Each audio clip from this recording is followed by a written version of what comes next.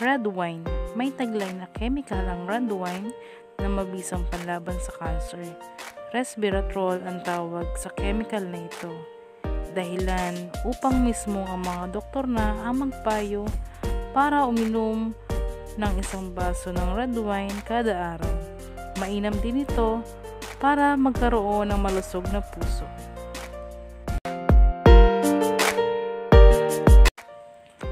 Green tea. Ang green tea ay mayaman sa antioxidant. Kumpara sa ibang klase ng tsaa, ang green tea ay hindi dumadaan sa maraming proseso, kaya napapanatili nito ang mahalagang minerals na kailangan para labanan ng cancer. Napapatunayan sa maraming pag-aaral na ang regular na pag-inom ng green tea ay nagdudulot ng maraming benepisyo sa katawan. Kung may cancer na, makakatulong ang green tea para labanan ang sakit.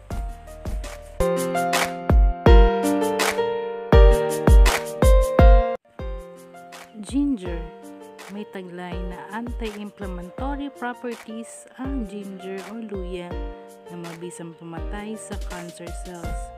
Ayon sa mga scientists, maging ang mga klase ng cancer na mahirap labanan gaya ng colon ay kayang puksain ng luya.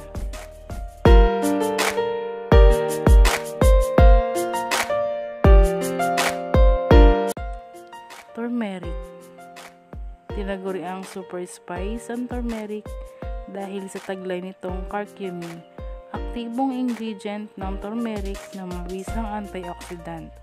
Bagamat kakailanganin pa din ang mga malawakang pag-aaral. Pero ilang laboratory studies na ang nagpatunay sa kakayahan ng curcumin na pabagalin ang paglaki at pigilan ang pagkalat ng cancer sa mga hayop. Marami ang nagsasabi na ganito rin ang epekto ng curcumin sa tao. Mabisang protection din ang turmeric laban sa mga liver disease at nagre-reduce ng cholesterol level.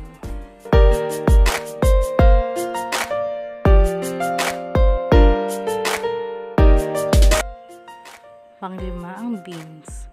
Lahat ng klase ng beans ay mayaman sa fiber at fatty acids na tumutulong para pigilan ang pagtubo ng cancer bago pa ito magsimula. Kung may cancer na, makakatulong ang pagkain ng beans para pigilan ang pagkalat ng cancer. Tiyaking kumakain kahit kalahating tasa ng beans dalawa o tatlong beses sa isang linggo para makuha ang benepisyo nito.